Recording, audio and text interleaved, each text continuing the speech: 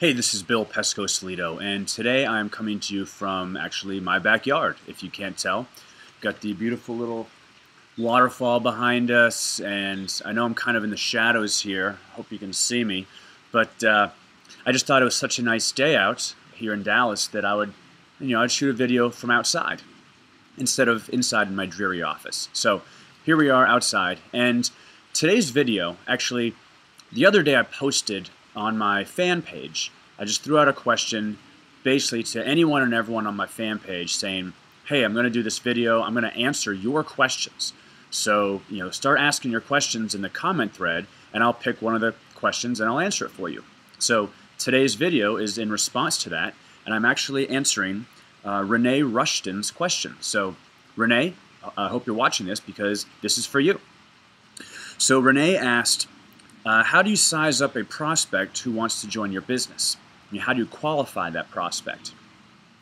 And it's a great question because I think a lot of people, when when you're when you're prospecting or when you're closing someone, or just in general when you're when you're recruiting someone into your business, uh, a lot of people, if you're the recruiter, not the recruitee, you feel that you need to just sell, sell, sell, sell the person you need to convince them that you know this is the right fit. And I look at it a little bit differently. Um, I in fact qualify the people who I'm uh, proposing to work with before.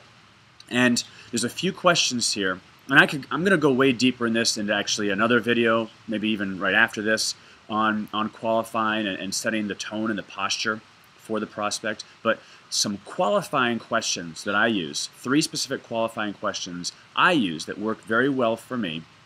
Um, they're, well, they're as follows.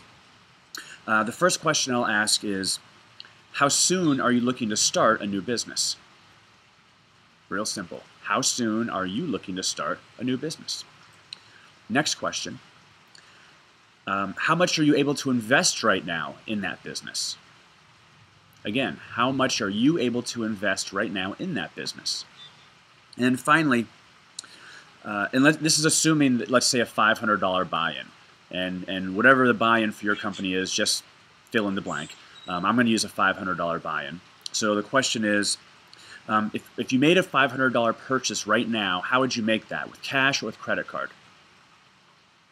Now, I'm asking these questions because I want to get a sense of uh, how committed the person is. I want to get a feel for their sense of urgency. And I want to know are they even able to invest in a business right now, right? Because I don't want to waste a lot of time if they're just kicking tires or if they have no money.